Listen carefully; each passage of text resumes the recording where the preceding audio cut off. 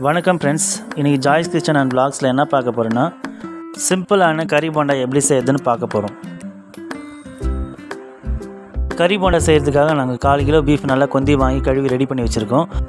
இப்போ அதில் ஒரு டீஸ்பூன் இஞ்சி பூண்டு விழுது அப்புறம் தேவையான அளவு உப்பு அப்புறம் ஆஃப் டீஸ்பூன் மிளகாய்த்தூள்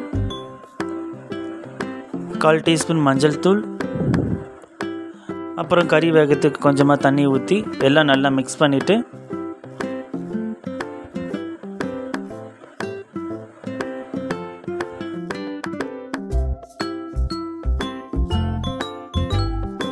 இப்போ மூடி போட்டுட்டு நாலு விசில் வர அளவுக்கு நல்லா வேக வச்சு எடுத்துக்கலாம்.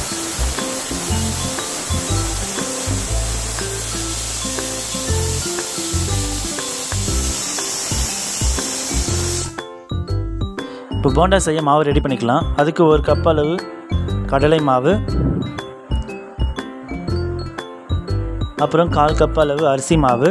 நீங்கள் இப்படி பண்ண கஷ்டமாக இருந்துச்சுன்னா கடையில் பஜ்ஜி மாவு மிக்ஸு கூட வாங்கி ரெடி பண்ணிக்கலாம். அப்புறம் ஒரு டீஸ்பூன் மிளகாய்த்தூள் கொஞ்சமாக பெருங்காயத்தூள். கொஞ்சமாக சோடா மாவு. அப்புறம் தேவையான அளவு உப்பு. ஒரு டீஸ்பூன் அளவு இஞ்சி பூண்டு விழுது சேர்த்து நல்லா மிக்ஸ் பண்ணிக்கலாம்.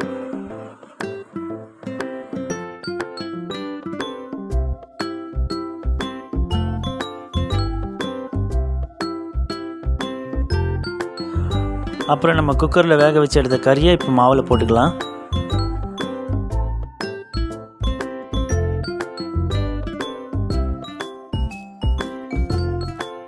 இப்போ எல்லாத்தையும் சேர்த்து நல்லா மிக்ஸ் பண்ணிவிட்டு தேவையான அளவு தண்ணியை ஊற்றி போண்டா பிடிக்கிற பாத்திரத்துக்கு மாவு ரெடி பண்ணி வச்சுக்கலாம்.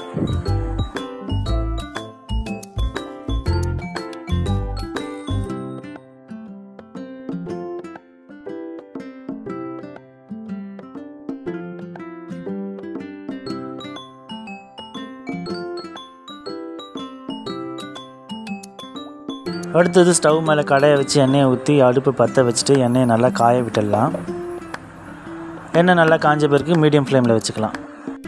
இப்போ நம்ம ரெடி பண்ணி வச்சுருக்கிற மாவை ஒன்று ஒன்றா உருண்டை பிடிச்சி எண்ணெயில் போட்டுக்கலாம்.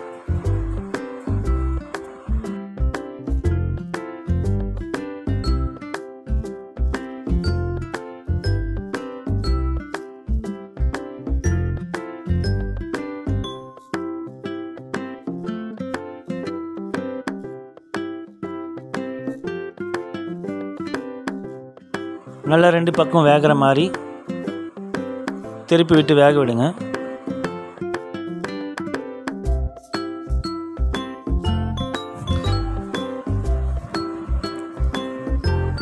இப்போ ரெண்டு பக்கமும் நல்லா வெந்துடுச்சு. இதை நம்ம ஒரு பிளேட்டுக்கு மாற்றிக்கலாம்